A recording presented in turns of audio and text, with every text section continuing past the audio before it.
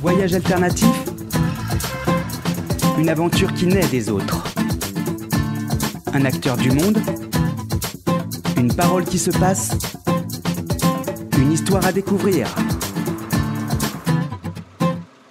J'ai 56 ans, euh, donc j'ai changé de vie à 54. Donc désolé pour ceux qui connaissent pas, mais euh, euh, moi mes références c'est là je pense à Supertramp, une chanson qui s'appelle Logical Song, raconte un petit peu, je trouve qu'elle colle bien avec ma vie en fait parce que ça raconte l'histoire d'un mec à, qui on a dit bah voilà faut être comme ci comme ça machin. moi en l'occurrence c'était bourgeois catholique et en fait il s'aperçoit que c'est pas exactement ça la vie donc il y a d'abord cette chanson. Il y a une autre, il y a une autre euh, chanson éventuellement, mais là c'est lié à un voyage que j'ai fait au Pérou qui m'a beaucoup marqué, euh, parce que j'ai rencontré cet artiste euh, au milieu de la cordillère des Andes, dans un endroit magiquissime. et en l'occurrence, elle était là totalement incognito, on va dire. C'est une artiste qui s'appelle Paloma del Cerro. Et il y a notamment une chanson qui s'appelle euh, Curandera Curando, et qui parle de soigner, euh, de soigner quoi. Et moi, je suis thérapeute. Euh, et thérapeute, ça veut juste dire prendre soin, étymologiquement. Ben voilà, mon, job, ma vie, c'est de prendre soin.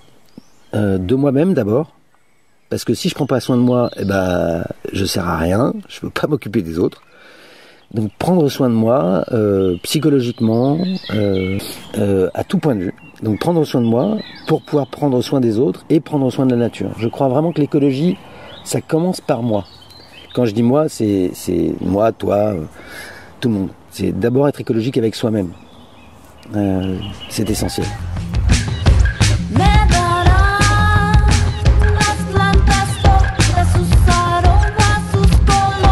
Le projet, c'est de faire euh, ce que j'appelle une ferme thérapeutique. Il s'agit de donner aux gens qui ont qui vont pas bien euh, la possibilité de faire des séances euh, de différentes thérapies, sachant que moi je suis hypnothérapeute. il y aura d'autres thérapies dans ce lieu qui est bercé par le calme de l'eau omniprésente et des oiseaux omniprésents. Et l'idée, c'est de se servir juste du vivant, donc des animaux qui sont présents ici, qu'ils soient sauvages ou domestiques, du potager, euh, de, tout ce que le vivant nous propose, pour se reconnecter avec son propre vivant, euh, sa propre vie et le centre de qui on est, de se retrouver soi-même. C'est euh, l'idée de ce lieu, sachant que les gens qui vont pas bien, malheureusement, sont pas forcément des gens riches et hum, qu'une séance d'hypnose, de, psy, ça coûte 50 euh, euros, 60 euros, 90 euros dans les grandes villes. Euh, donc c'est un peu ouvert que aux gens qui ont, les moyens. C'est pour ça que je veux que ce lieu soit en tarif libre, que les gens qui se viendront ici seront reçus, invités. Bien sûr, il y aura un, paiement quelconque. Si les gens sont riches et qu'ils ont les moyens de payer beaucoup, bah, tant mieux. S'ils sont pauvres, eh ben, ils paieront très peu, et tant mieux aussi. Mais je ne veux pas que l'argent soit un frein au bien-être.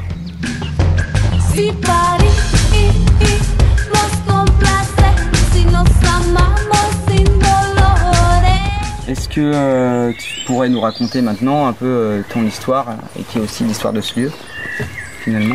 Oula, elle est longue. Euh, on peut la commencer à l'époque où j'étais directeur marketing dans un grand groupe de presse féminine. Et un des enjeux fondamentaux du digital dans un groupe de presse, c'est ce qu'on appelle le référencement naturel. En gros, il s'agit d'être dans les premiers résultats de recherche quand les gens cherchent un mot-clé quelconque. À cette époque-là, je voulais prendre des vacances et euh, j'étais tout seul parce que mes potes étaient pas en vacances. et donc j'ai décidé d'aller sur le Kilimanjaro parce que ça me rappelait euh, un livre d'enfance qui m'avait beaucoup impressionné, qui s'appelait Le Lion de Joseph Kessel. Et donc je vais sur le Kilimanjaro, euh, qui est donc à 6000 mètres, au centre de l'Afrique. Et je crois qu'une grande partie des gens qui étaient avec moi euh, en montant cette montagne avaient tous un peu un, bagage émotionnel ou spirituel. Et en l'occurrence moi, c'était la mort de mon père. Quand on arrive en haut de cette montagne, après beaucoup d'efforts, on y arrive euh, en général au lever du soleil. Il faut savoir que du haut du Kilimanjaro, on peut voir euh, du Cap au Caire. C'est-à-dire qu'on peut voir toute l'Afrique. Bon, là, il faisait pas très beau, donc euh, c'était pas le cas, mais, mais en tout cas, la sensation est extraordinaire. Parce que c'est une montagne toute seule, un peu euh, comme les montagnes qu'on dessine quand on est enfant. Euh, un peu comme le mont Fuji, par exemple. C'est une, une expérience qui dure une semaine, et hum, moi, je suis rentré à Paris juste après. Donc, euh, j'avais vraiment la tête dans les étoiles. Ce qui a fait un choc intense, puisque je discutais avec mes collègues, et pour revenir à ce que je disais sur les, les mots-clés et euh, les mots importants, un de mes collègues est venu et m'a dit, euh, alors pardon pour les oreilles sensibles, mais il m'a dit on est premier sur pénétration anale. Et là, ça a fait un vrai choc. Je me suis dit, mais qu'est-ce que j'en ai à faire? Mais qu'est-ce que j'en ai à faire? Ça mais ça n'a aucun intérêt. Euh, et à partir de là, je crois que c'est le, le premier moment où ma vie a changé. J'ai décidé de quitter mon boulot, de partir en Bretagne. Là, il se trouve que j'étais pas, sans doute pas tout à fait prêt à, tout quitter puisque euh, je suis resté deux ans en Bretagne. Ça s'est plutôt pas bien passé puisque je cherchais à dupliquer ce que je connaissais à Paris, mais en Bretagne. Donc, une vie de consommation et de marketing, mais en Bretagne. Et ça s'est pas bien passé puisque euh, au bout de ces deux ans, j'ai fait une grosse dépression. Je me suis auto-hospitalisé en hôpital psychiatrique. Et cette semaine en hôpital psychiatrique a été euh, un deuxième très grand tournant pour moi, puisque je me suis aperçu que l'attention à l'autre, l'aide de l'autre, était euh, quelque chose d'important pour moi et que j'avais l'impression que je faisais pas trop mal. Et puis voilà, je suis sorti de cet hôpital psychiatrique, euh, bardé d'antidépresseurs et de 10 minutes de rendez-vous avec un psychiatre. Et puis là, il y a deux copains qui m'ont appelé, euh, qui m'ont dit tous les deux qu'ils faisaient une formation d'hypnose, euh, alors qu'ils ne se connaissaient pas l'un l'autre et que les deux formations étaient différentes. Donc j'ai choisi de, de faire moi-même cette formation d'hypnose, et je suis rentré à Paris en même temps. J'ai continué un petit peu le marketing, tout en m'intéressant de plus en plus à ce qui se passe dans la tête des gens, et singulièrement dans la mienne. Puisque je crois que travailler avec les gens est indissociable de travailler avec soi-même, et de se comprendre, de s'expérimenter, de s'observer. Et donc j'ai été hypnothérapeute à Paris et à Strasbourg. Et puis euh, à un moment donné, je me suis dit bon bah l'hypnose c'est très bien, mais il y avait cette histoire de tarif qui ne me convenait pas. Donc j'ai commencé à expérimenter le tarif libre. Et en même temps, je voulais euh, quitter Paris parce que, euh, parce que la vie n'est pas très présente à Paris.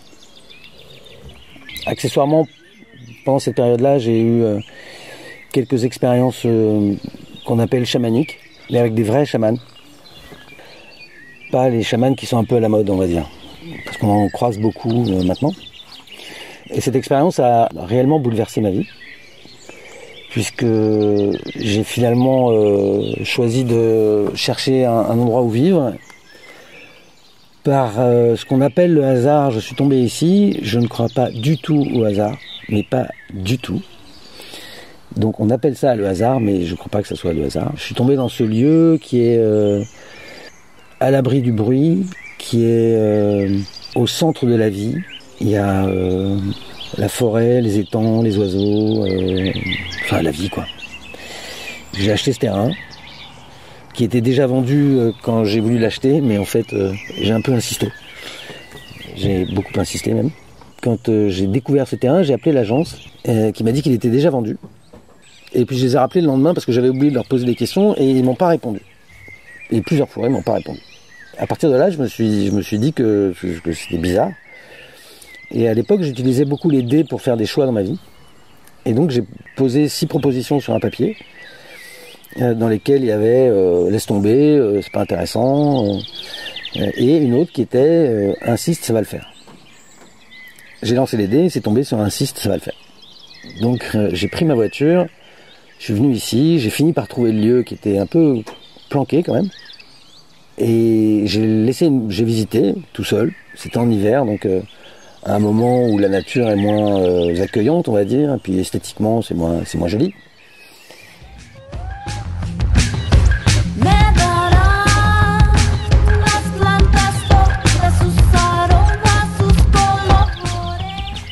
Donc j'ai laissé un courrier dans la boîte aux lettres du propriétaire en lui disant que j'étais intéressé et que bien que ce soit vendu, euh, si jamais l'autre projet capotait, j'étais preneur. Et un mois après, il m'a rappelé en me disant que c'était pas tout à fait vendu en fait et que donc ça restait disponible. Donc je suis revenu, j'ai revisité avec lui. J'ai continué à trouver cet endroit euh, magique. Et finalement, pendant le premier confinement, période que j'ai adorée personnellement, je me suis demandé pourquoi j'hésitais. Et j'ai pas trouvé de raison. Donc j'ai rappelé le propriétaire et je lui ai dit que je l'achetais. Et donc le 15 juillet 2020, je me suis retrouvé ici, euh, dans un endroit euh, qui ne correspondait en rien à ce que j'avais choisi, puisque quelques temps avant, euh, je m'étais dit, je ne veux pas acheter seul, je ne veux pas acheter un endroit isolé, et je ne veux pas acheter un endroit avec trop de travaux. Et on le verra plus tard, mais c'est très isolé, je, suis tout seul, et il y a beaucoup de travaux, puisque j'ai tout cassé pour tout reconstruire. Quand j'étais en Bretagne, j'avais voulu dupliquer une vie de Parisien, mais en Bretagne. Et je m'étais euh, planté. Ici, j'ai accepté de faire l'inverse. C'est-à-dire, je n'ai rien voulu en fait. Tout s'est enchaîné sans que je ne fasse rien. Je suis arrivé ici dans le village, il y a une épicerie bio euh, locale et, trouve que moi je ne consomme que bio, donc euh, J'étais euh, déjà ravi de voir ça. Les épiciers sont devenus des potes très vite, donc j'ai rencontré plein de gens. Et tout s'est enchaîné sans que je ne fasse rien. Et de la même manière, le lieu devient ce qu'il est en train de devenir sans que je ne cherche rien pour qu'il le devienne. Pour preuve, j'ai pas du tout essayé de communiquer sur ce que je fais ici et t'es là et je t'ai jamais demandé de venir venu quoi. Prendre un exemple tout bête, euh, moi depuis que je suis enfant, je, rêve d'avoir des chevaux. J'en rêve.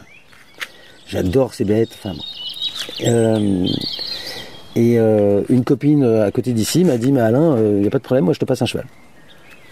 Et ça tombe tout seul. Il n'y a, a, rien à chercher. Il n'y a rien à demander. Ça vient. Je pourrais très bien acheter un cheval et machin, etc. Là, il tombe. Donc c'est parfait. Et de la même manière, tout tombe comme ça. Les amis arrivent, les, euh, rencontres arrivent. J'ai choisi de faire une maison en paille, enfin bois paille. Euh, la technique s'appelle le greb pour ceux qui s'intéressent. Mais là encore, c'est un hasard. Je suis arrivé ici, j'ai rencontré des gens et il se trouve qu'il y avait un type qui, qui avait fait une maison euh, du même style dans le coin. Et donc j'ai discuté avec lui, il m'a montré le bouquin. Je me suis dit ah ça a l'air simple. Bah tiens, je vais faire ça. Et voilà, et donc j'ai commencé à faire ma maison en paille avec mes petits bras, euh, euh, mon petit bouquin que j'ai acheté 30 balles, euh, donc pas très cher. et puis après, bah voilà, il faut juste acheter de la paille et du bois, il faut trouver des gens qui... Mais tout est très simple en fait. Tout est très simple quand on ne cherche pas à faire les choses, quand on accepte qu'elles arrivent. Et pour accepter qu'elles arrivent, il faut juste être patient. C'est tout. Il faut juste attendre que ça arrive au moment où, ça doit arriver. Ça boucle un petit peu avec euh, l'ambition que j'ai ici pour les, gens qui viendront. Peut-être qu'il y a des gens qui viendront et qu'il pleuvra toute la semaine. Mais s'il pleut toute la semaine, c'est juste parce que c'est important pour eux d'être centrés à l'intérieur. Ou c'est important pour eux de goûter à la pluie. Et puis d'autres qui viendront, ce sera la canicule. Et bien peut-être que ça sera important pour eux de se, de se baigner dans les étangs et de sentir leur corps. J'en sais rien. Mais dans ma vie d'aujourd'hui, contrairement à celle d'hier, je considère que tout est juste. Tout arrive de façon juste. Après, il faut souvent euh, chercher la justesse. C'est pas évident. Euh, quelquefois, on se prend une grande claque et on se dit mais c'est où la justesse? T'es gentil, mais enfin, c'était pas cool quand même.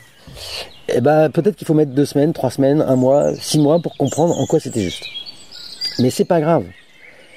Euh, le temps est quelque chose que dans notre société on connaît plus ou on connaît trop, plus exactement. On est à la seconde en permanence.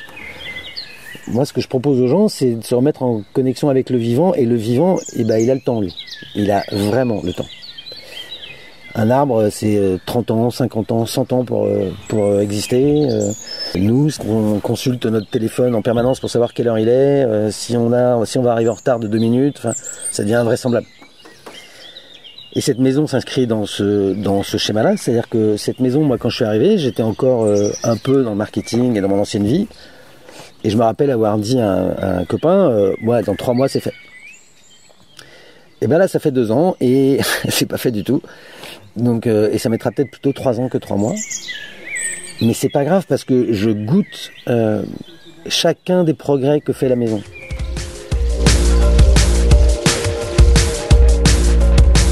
Le plaisir de voir à chaque fois que tiens j'ai fini le tour de cette fenêtre, tiens j'ai fini le schéma, tiens j'ai fini l'électricité, tiens j'ai fini. Et c'est un tel plaisir de voir les étapes s'enchaîner calmement, tranquillement. Alors évidemment parfois euh, il pleut et on a envie de finir un truc et on peut pas. Ben... Ouais, sauf qu'à ce moment-là, on s'aperçoit que comme il pleut, eh ben on peut faire autre chose. On peut s'occuper de la serre parce que je me suis fait une serre euh, semi-enterrée. Euh, on peut s'occuper de préparer le jardin pour dans deux ans parce que la terre est pas faite et qu'il faut que le, temps que la terre se fabrique et, et, que voilà, bah ça prend du temps quoi. Sinon, je vais voir mon santo, je mets plein d'engrais, ça marchera aussi, mais c'est pas mon truc. Donc euh, c'est un tel plaisir de d'utiliser ses mains euh, d'apprendre au fur et à mesure comment euh, comment on met comment on assemble des bouts de bois, comment on assemble de la paille, comment on fait du mortier, et de se planter et, de recommencer et d'y arriver, c'est génial. C'est un vrai vrai vrai énorme plaisir. Sur les parties euh, électricité, plomberie, etc., je le fais en co-construction avec des gens qui sont devenus des amis en plus, des plombiers, des électriciens. Et sinon, pour les, parties un peu moins techniques, euh, bon, bien sûr, je suis accompagné par des gens qui savent faire, je euh, mais, globalement, j'utilise beaucoup le, les réseaux de woofing. Donc des gens qui viennent chez moi une semaine, qui m'aident, qui sont logés, nourris, et qui m'apprennent plein de choses sur leur vie, sur, sur leurs envies, sur et puis qui, j'espère, apprennent plein de choses ici aussi sur ce que c'est de, faire une transition, quoi, une vraie transition, où tout d'un coup, bah, on passe de, tout émâcher, parce que à Paris, euh, on a un problème de serrure, on appelle le serrurier, on appelle le plomb, a un problème de plomberie, on appelle le plombier, et tout se fait tout seul. Ici, rien ne se fait tout seul, rien du tout, rien du tout. Tu vois, un truc bête, quand j'étais petit, ça existait. J'ai redécouvert les coupures d'électricité.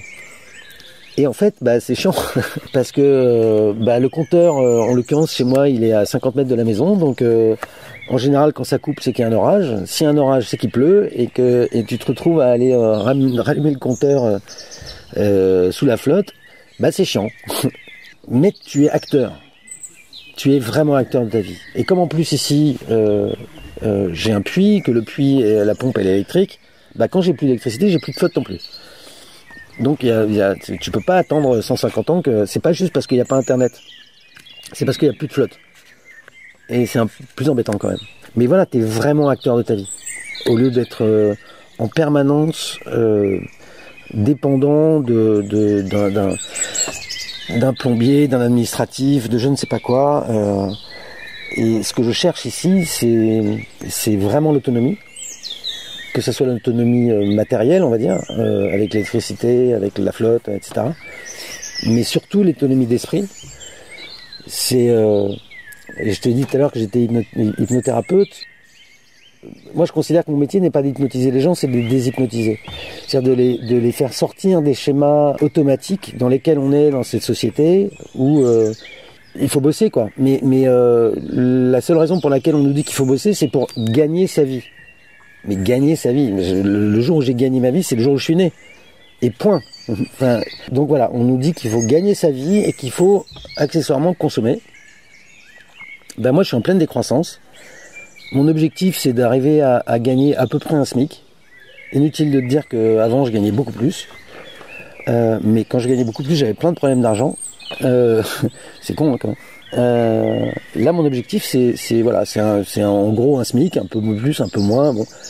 Euh, et pour ça, bah, faut que je fasse mes tomates, faut que que je consomme un peu moins, que je consomme un peu plus intelligent, que je me nourrisse bien. Euh, et en me nourrissant bien, bah, j'ai pas de problème de santé et donc euh, euh, je dépense pas d'argent chez le médecin et, voilà quoi. Euh, tout ça, c'est un cercle. J'essaye de mettre en place un cercle vertueux. Maintenant, évidemment que c'est difficile. Évidemment que j'ai tout à apprendre. Dire, moi, je suis arrivé ici. En gros, bon, j'étais un peu plus bricoleur que la moyenne, mais On va dire j'étais euh, meuble Ikea euh, un peu plus quoi. Mais mais voilà. Euh, en termes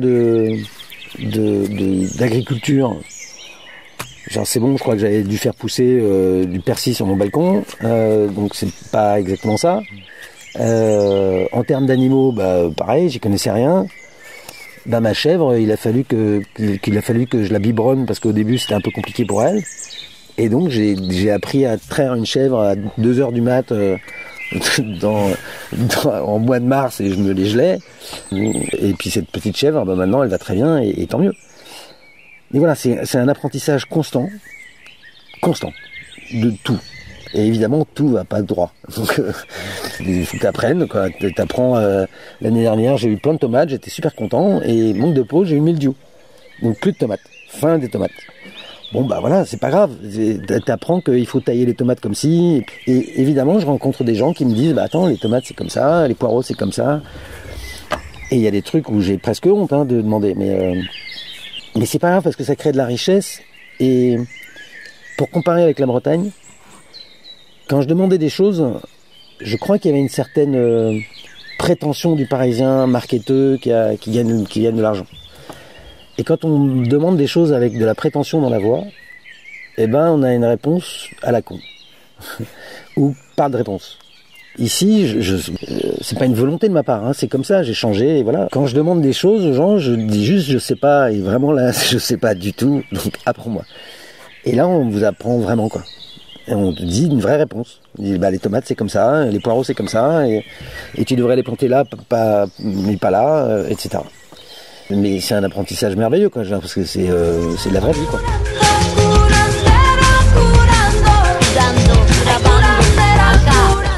Il y a, il y a un lieu qui s'appelle la Menuise, qui est euh, pas très loin d'ici, à une, dizaine de kilomètres, qui est un, un lieu de coworking, comme on dit maintenant.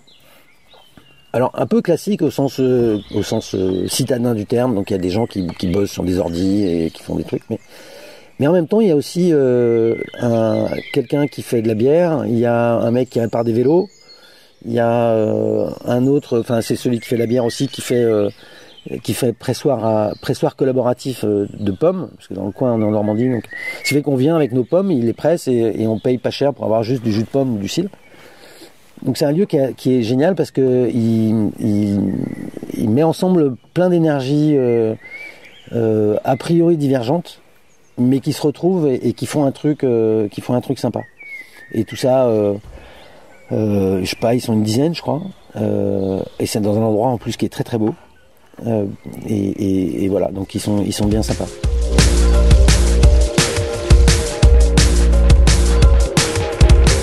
Tu auras un petit mot pour les personnes qui peuvent être portées par ce type d'initiative Alors, si une initiative, c'est la transition, si l'initiative, c'est le changement de vie, ouais, j'ai un petit mot pour eux. C'est patience, courage, et alors c'est un mot qui est un peu, qui est un peu connoté aujourd'hui, mais et surtout la foi. Il s'agit pas, je suis pas en train de parler de foi religieuse, je sais pas quoi. C'est juste la foi en soi, quoi, et la foi dans la vie. Voyage alternatif Une aventure qui naît des autres. Un acteur du monde Une parole qui se passe Une histoire à découvrir